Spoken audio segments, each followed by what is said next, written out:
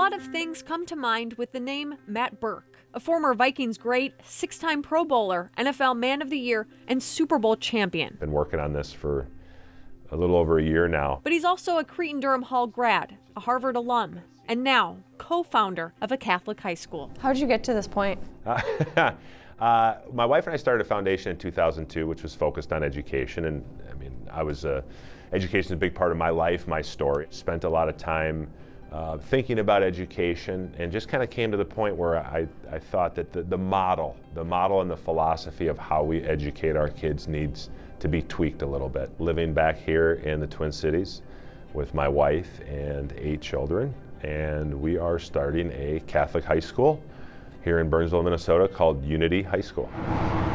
Unity High School will be housed inside Mary Mother of the Church. So this will be one of our classrooms next year. It will open this upcoming fall with ninth graders, and every year they'll add a grade. It doesn't look like it now, but we, that's a retractable wall. Matt says the church was originally built to house a school, but never had one. This is the room for the room for growth. They move in this summer. For kids who go here next year, what can they expect? Well, we, are a liberal arts plus math and science curriculum, and we will do that Monday, Tuesday, Thursday, Friday. But on Wednesdays, we call it Real World Wednesdays, where we won't do any of the traditional academics. We will focus on leadership, on character. We've partnered with an amazing organization called Pursuit Academy, which teaches ethical entrepreneurship. There'll be a hands-on component as well. We're going to do some some wood shop, some some home ec, those those types of things. Students will learn everything from how to cook a meal to how to change a flat tire, and a focus on acts of service. Matt says all these classes are meant to help them prepare for whatever path they take. Our philosophy here is, uh, you know, we'll have kids from Unity High School that'll go to college. We'll have kids that go into the workforce. We'll have kids that go into the military. And we feel like there's equal dignity in, in all of those things. Are people surprised that you're doing something that doesn't have to do with sports?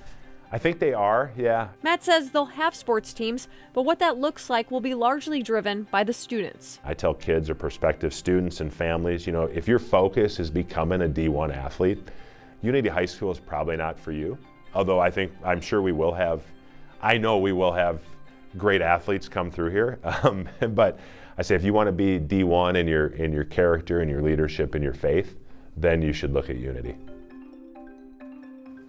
super cool to see these athletes. LeBron yeah. James, you know, started a string of high schools right. as well. Education was important to him. That is, that's cool. Yeah, and they're hoping to have 25 students their first year. Okay. Tuition costs 6,500, and they have financial aid options as well for kids. And for those interested in going to Unity, we'll have more information at KARE11.com. Also, you can learn more about the school and event on May 4th at the Royal Cliff in Eagan. Comedian and Sirius XM host Jennifer Fulwiler will be performing, and Matt will also be doing a stand-up routine. He's a stand-up comic, he a father everything. of eight, a former Vikings player, and a Harvard graduate. My goodness, Matt Birk, my goodness. Thank you very much, yep. Heidi.